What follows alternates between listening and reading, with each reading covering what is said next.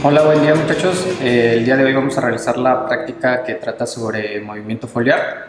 Esta práctica está convocada para la fase 2 de su unidad de aprendizaje y en este caso, bueno, lo que vamos a utilizar o lo que trata es sobre movimiento foliar. Una planta que se utiliza comúnmente para eh, visualizar el efecto del movimiento foliar corresponde a las famosas calateas. Calatea eh, pertenece a la familia Marantaceae y tiene la característica de estas hojas, o sea, hojas como, como opuestas en cuanto al, color, ¿okay? tiene estas características, a veces le dicen eh, pluma de indio, algunas veces le dicen de esa manera, este, es fácil de conseguir, es una planta interior y que tiene la característica de responder a nastias. Eh, la nastia vendría siendo un movimiento de las plantas o de los órganos vegetales que corresponden a un estímulo exterior, que podría ser la temperatura, eh, cuando se llega a tocar, eh, el día, la noche. ¿okay? Podrían ser algunos, algunas eh, respuestas. Si se fijan ahorita la, la, la, calatea está con un aspecto como medio, como que quiere levantar un poquito las hojas. La calatea tiene un tipo de nastia que se conoce como nictinastia y corresponde al movimiento de las hojas de acuerdo a la cantidad de luz que esté llegando, pero el movimiento lo implica más que nada para evitar que se caliente mucho la planta. ¿okay? Tiene que tomar una posición para evitar tanto calentamiento sobre la planta mientras está recibiendo la, la luz del sol. Es una característica. Ahorita que llegué, por ejemplo, ahorita ya está en algo de movimiento, ahorita que llegué estaba toda plana, este, y ahorita como está respondiendo a la luz de, a la luz del laboratorio, y ahorita que la coloquemos en el, cercana a la ventana, eh, vamos a ver cuánto es el movimiento que tiene la planta.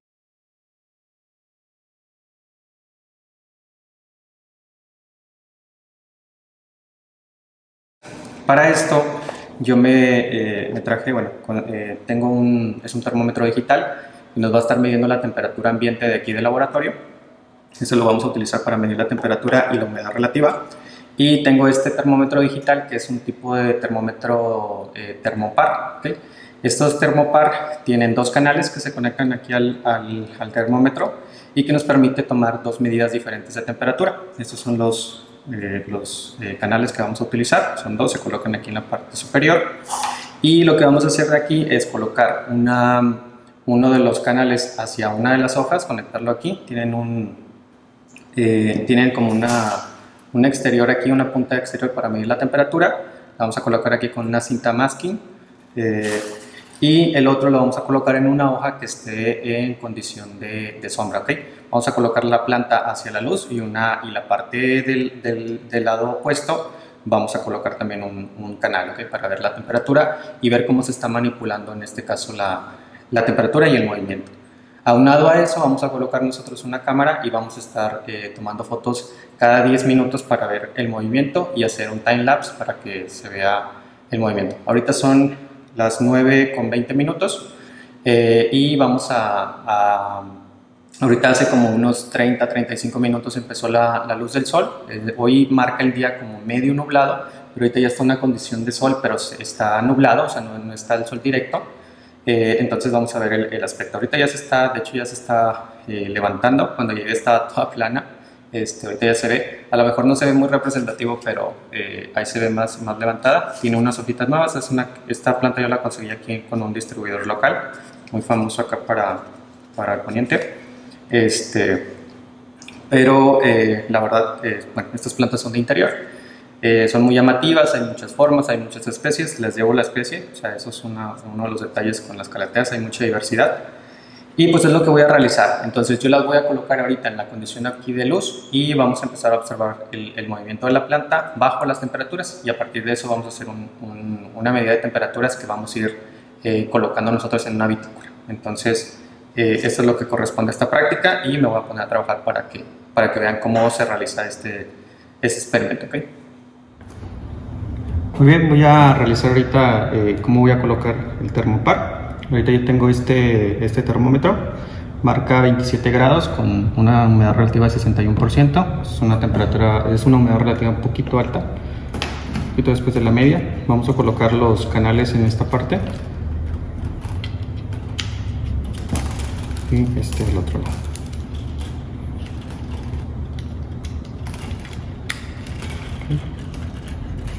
Entonces les decía que yo la voy a colocar un poquito más para acá, en la condición de luz, en esta parte, y esta de lado pues es la que le voy a colocar el otro termopar, el otro canal, perdón.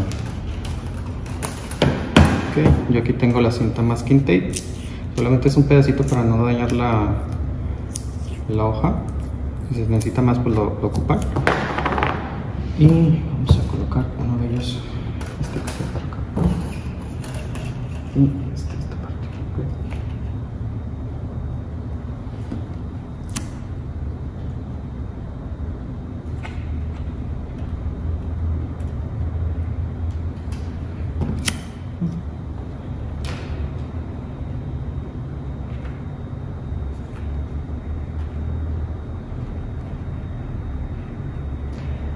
le voy a poner otro pedacito.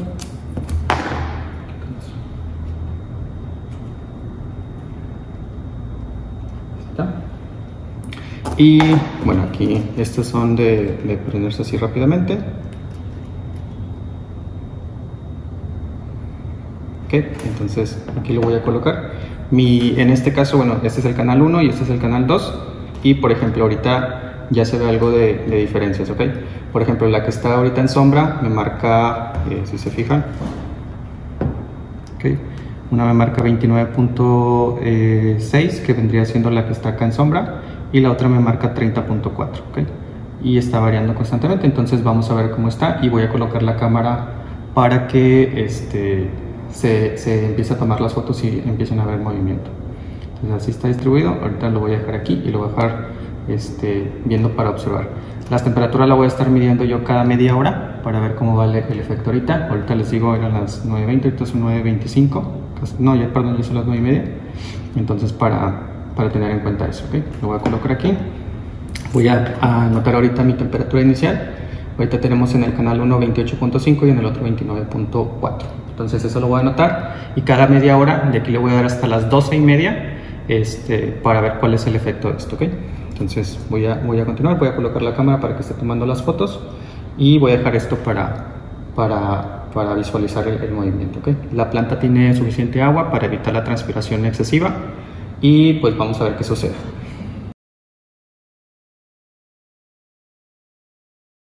Muy bien muchachos, entonces ya, ya terminó. Ahorita hicimos nosotros, empezamos eh, les había dicho 9 y media, pero no empezamos 10 y media, perdón, y terminamos ahorita a las 12.45. Esto puede continuar y se puede dejar más tiempo y todo, pero yo lo dejé así, hice 10, eh, 10 conteos. Les había mencionado que lo iba a hacer cada media hora, no, eh, empecé a contar cada, cada 15 minutos, ok, empezar a tomar las temperaturas de la humedad relativa y la temperatura ambiental, que eso lo tengo con el, con el, el termómetro aquí digital que yo coloqué aquí en el laboratorio.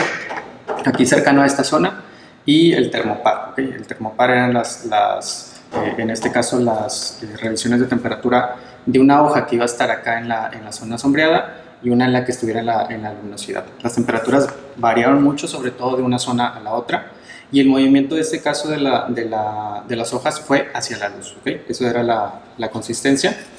Si se fijan, bueno, así ha estado. Incluso en este caso se, empezó, se empezaron a abrir estas dos hojas, que eso fue algo muy, llamativo. A veces nosotros pasamos desapercibido estas características eh, en el día porque no estamos todo el día viendo algo, pero pues bueno, yo estuve ahorita este tiempo, ¿okay? se puede continuar durante más tiempo para ver cómo es que se está eh, moviendo y poco a poco va a ir bajando las hojas. Ahorita está levantada, este, pero poco a poco va a ir bajando las hojas.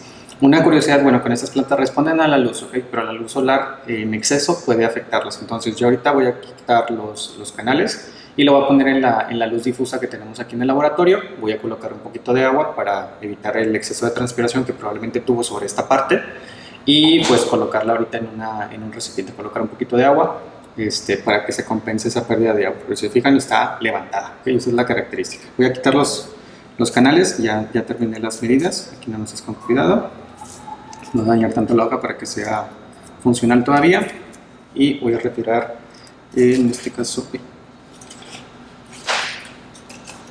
y voy a retirar el del canal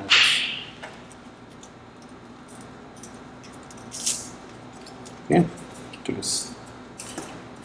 la cinta y ya aquí ya se o sea yo aquí ya retiré esto ya está apagado y bueno así quedó la, la planta sin moverla así como de lado, si se fijan tiene un crecimiento hacia acá, ¿no? Eso es por las nastias, que en este caso, bueno, responden más que nada a la luz, ¿ok? en este caso el movimiento.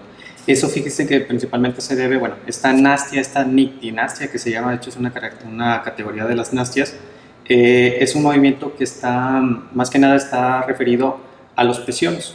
En los peciolos hay una sección que se conoce como pulvinos y que los pulvinos tienen la capacidad de doblarse o incorporarse de acuerdo a la posición con el, con el sol para obtener mayor cantidad de, de luminosidad. Entre las temperaturas, por ejemplo, en el caso de las que estaban hacia la luz, o sea, que estaban directamente con luz, hubo, una, hubo un momento en el cual la, la, temperatura alcanzó hasta 34 grados, incluso ahorita la última toma era de 36 grados, ¿ok? Entonces sigue siendo fuerte, eh, eh, temperatura ambiental estamos a 31, pero acuérdense que la, la, la, misma intensidad de la, de la, luz, en el caso de estar en la ventana y una, en una superficie metálica, eh, incorpora que se, se aumente la temperatura. Entonces, a eso se debe y es también una temperatura, eh, no lo podemos eh, relacionar completamente con la temperatura exterior, sino que también lo tenemos que comparar con la temperatura de la misma hoja, porque está haciendo transpiración muy probablemente de esta parte que está hacia la luz del sol. Entonces, es una de las características. Este, en teoría, bueno, debería haber algo de, de transpiración y demás, pero en este caso, este, y disminuir la temperatura, pero el exceso de, luz es alto. Entonces, con esto culmina nuestra, nuestra práctica de movimiento foliar en base a las nastias, en este caso con, con las plantas. Y bueno, aquí la vemos. Ahorita la, la, voy a colocar yo con un poquito de agua pues para compensar todo el, tiempo que estuvo ahorita con, con, esa intensidad. Y pues si se fijan, bueno, pues es una, es una planta muy, muy llamativa y aparte, bueno, son plantas de interior que ustedes pueden utilizar en cualquier, cualquier situación, siempre y cuando haya mucha luz eh, difusa, ¿ok? Mucha, mucha luz blanca, ¿ok? Ese, ese tipo de luz les agrada mucho, luz rojiza también igual, pero que sea siempre difusa, ¿ok? No luz directa en este caso, o tenerla en el sol afuera, pues no son, son, no son propicias para este tipo de plantas, ¿ok? Estas les digo, yo la conseguí en, en un distribuidor local aquí en, aquí en Nuevo León, en la zona de Monterrey, entonces ya la, la tenemos así y hay muchas variedades, ¿no? O sea, hay unas todavía más grandes y todo lo que quiero es que esta crezca todavía más para, para poderla incorporar a diferentes lugares y tratar de propagarla, ¿no? que es una de las características que, que quiero hacer. Entonces, bueno, aquí, aquí culmina nuestra práctica y bueno, espero que tengan un buen día.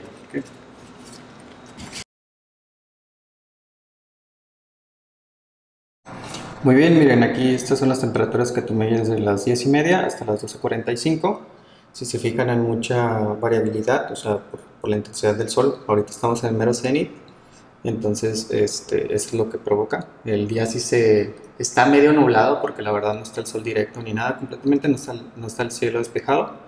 Pero si se fijan la temperatura, por ejemplo, en la, en la, la que dice C1, es la que estaba en la hoja que estaba en, sombra entonces fíjense la, la variabilidad 28, 28, 28.9, 29, 29.2, 30 y 30.3 culminó ahorita la última toma.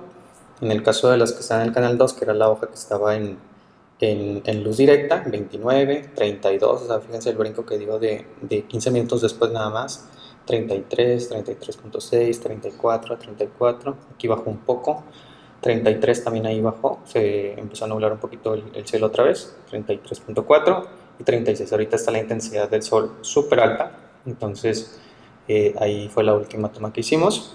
Y en el caso de la temperatura ambiente también hubo, hubo variabilidad. Entonces 27, 60. De hecho la humedad relativa estuvo bajando considerablemente, ¿ok? De 60 hasta 51, o sea, fue un 10%. Y en el caso de la temperatura subió 4 grados. Estamos ahorita a 31. Aquí está nuestra termómetro digital, 50% humedad relativa, de abajo un por ciento más y 31 grados. Y aquí está nuestra, nuestra integrante, ¿okay? Fíjense la, la, formita que tomó en cuestión de tener las hojas todas hacia un lado por, la luz, ¿ok? Este, sí les gusta la luz, ¿ok? Pero la luz solar directa, así completamente, las achicharra completamente, entonces hay que tener cierto cuidado. Entonces, fíjense, parece que que tuviera un, un, peinado, ¿no? Eso es como, lo, como yo lo puedo distinguir, como sobre, un lado nada más creció.